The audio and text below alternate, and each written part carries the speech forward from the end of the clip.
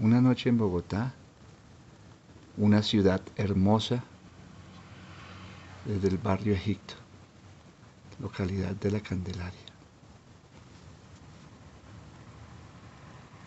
Esta es mi Bogotá, la Bogotá que amamos,